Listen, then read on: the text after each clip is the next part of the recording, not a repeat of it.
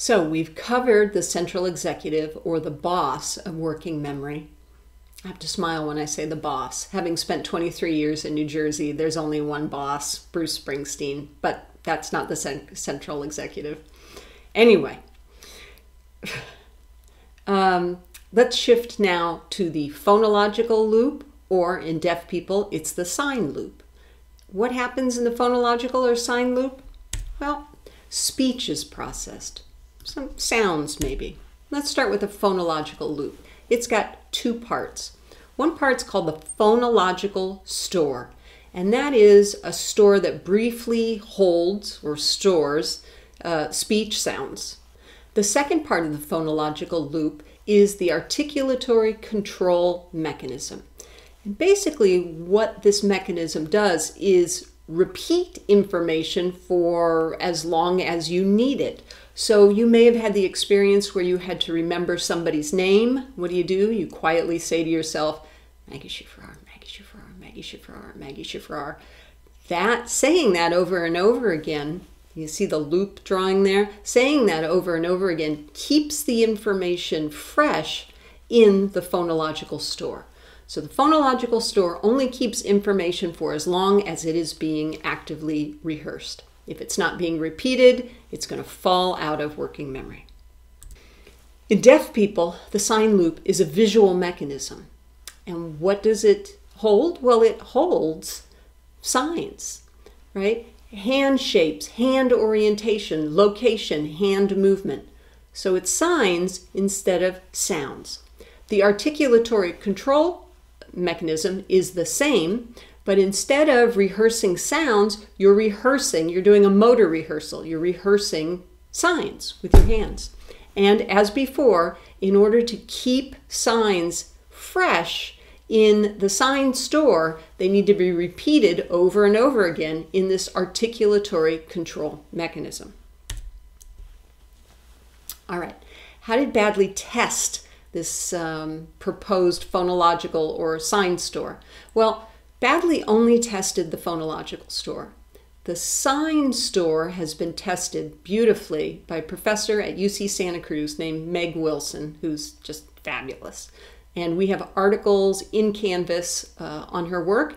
Um, if you don't have access to Canvas, then Google Meg Wilson at UC Santa Cruz Department of Psychology. All right. What Baddeley did to establish the existence or support for the existence of the phonological loop was to do something called articulatory suppression. Have you ever seen someone say, No, I don't want to hear what you're saying? La la la la la la la la la la la. Okay, you can understand why they would plug their ears, they don't want to hear it. But why are they talking? Well, it turns out if you're talking at the same time that you're listening to someone else talk, your memory for what they're saying drops like a rock. Okay? The same thing works with sign, by the way. If a deaf person is signing at the same time that they're trying to read someone else's signs, that creates a problem. It creates a conflict. All right. So let's test it. What I'm going to do is I'm going to read to you a list of 10 words that I want you to remember. And then we're going to use this as a baseline. Okay? So if you are a hearing individual, please cover up the uh, captions at the bottom. Otherwise, this won't work. And I want you to get it, to understand it, because you'll remember it better. So this is a demonstration, the first part of a demonstration on articulatory suppression. All right, so I'm going to read a list of 10 words, and then you have to write down the list after I'm done. Here we go. Bronze, book, magazine, bike, copper, dress, copier, soda, shoe, rock. Write them down. Go ahead. wait.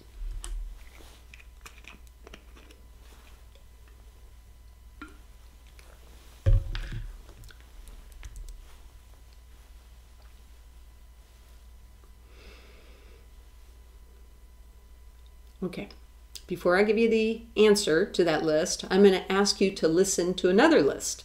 And again, you'll write that down once I'm done reading the list. But in the second list, what you're going to do while I'm reading the list is say the, the, the, the, the, the, the, the, the. The whole time I'm reading the list. Now, if you are in a place where you can't say the, the, the, the, the, the, out loud, uh, then say it in your inner voice. You know, that voice, you don't have to actually talk to other people. You can say it in your head. That voice. I want you to say it in your head. Da, da, da, da, da, da. All right? You ready? You guys ready? Okay. Start. Do, do the thes. Da, da, da, da, da. Donkey. Brick. Keep doing the thes. Sp- stick. Blue. Cycle. Trick wagon, clue, clock, blimp. Write them down. Just write down all the words I just said.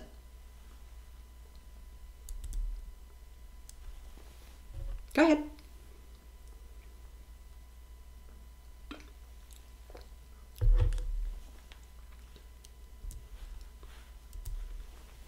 All right. After you're done writing down the list, I want you to look at the slide up here and compare your performance, how many of the words you remembered in the two conditions. So count up the number of words you got, you correctly remembered from the first list. Save that number, we'll use it again later. And then count up the number of words that you correctly remembered from the second list. Now, most people remember more words from the first list than words from the second list. And why is that? Articulatory suppression decreases your ability to remember and work with information that you're hearing if you are simultaneously speaking. That's articulatory suppression. If your phonological loop is busy producing speech, then it's not available to understand other people's speech. Same thing holds for sign language.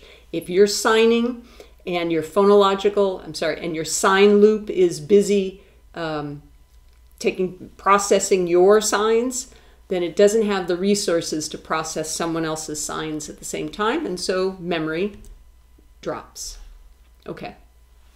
There's another phenomenon that is, is provides support for uh, Baddeley's model of working memory, and this is a similarity effect. In hearing people, it's harder to remember words that sound similar than it is to remember words that sound different. In deaf people, it's harder to remember words that have similar signs than it is to remember words that have different signs. Okay, so take your two lists, put them aside, don't throw them out for now. And I'm going to read a third list of 10 words. And when I'm done, I want you to write those words down in the correct order. Okay? Or that it doesn't have to be in the correct order. Just do your best to write down the words. Okay, you don't have to say the or anything, just listen to the words. Here we go gold, code, bold, hold, told, cold, mode, slowed, hope, toad. Write them down. Hit pause until you're done writing them down, and then come back. And you will find me now that you've come back asking, did you remember more words in the first list or this most recent third list? Most people remember more words from the first list because those words sounded different from differently from one another, had a different sound from one another. The third list, the one we just said, there were a lot of words that sounded alike. And according to research, we have more trouble, hearing people have more trouble hearing words that sound alike, and deaf people have more trouble remembering words that have similar signs. So, actually, it's really interesting. The sign for deaf people the instead of it being sound based, right, it's motor based. It's based on the movements, the actual movements of your hand, rather than the meaning or the semantics of the word. So we misremember words that are similar. Okay, another one. Here we go. There's a phenomenon that Baddeley found called the word length effect. And it turns out how many words we can remember depends on how long the words are. Uh, so we're going to do a fourth list. Li fourth list. Ready for this fourth list? So put your first three lists aside. Here comes a fourth list. You don't have to say anything or do anything. Just listen to me or uh, deaf viewers read the captions. Ready? Rhinoceros, zinc, gorilla, tuberculosis, measles, calcium, uranium, carbon, hippopotamus, mumps. Write them down. Hit pause till you're done. And when you come back, I'll ask you the same question again. Which list did you remember more words from? This most recent fourth list or the first list? Most people remember more words from the first list than from this most recent fourth list. So uh, recall decreases as the amount of time it takes you to say a word or to sign a word increases. And that's what's um, drawn on this uh, hard to read graph here. Um, but the line going down means that um, your memory drops as the time you need to say or sign words increases. This is called the word length effect. There's also uh, bilingual and multilingual people will be really interested in this. There's also something called a digit span. In some languages, words are can be said very quickly, and other languages um, require more time to say the same number. So um, let me let me pick uh, French and English. In English, if I want to say 90, it's 90. In French, it's 4 20, and 10. So I have to say 90. It takes me longer to say 90 than it takes me to say 90. So if I were doing a word length effect or a digit span, how many numbers can I remember? If I'm working in French, I won't be able to remember as many numbers as if I'm working in English. Yeah, the more time it takes you to say a word or to pronounce, to say a number, the fewer numbers you can fit in your working memory, right? The less likely you are to remember any particular word or number. Okay, come back and we'll talk about the Visual Spatial Sketchpad.